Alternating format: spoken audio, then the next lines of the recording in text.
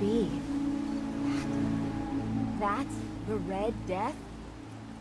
Think we can handle it? We could always call in the Marines. Oh, ha ha. What do we say to all the folk back home?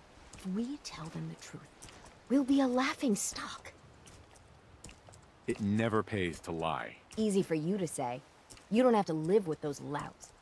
Ugh, let's go. I thought... I got this for you. To celebrate.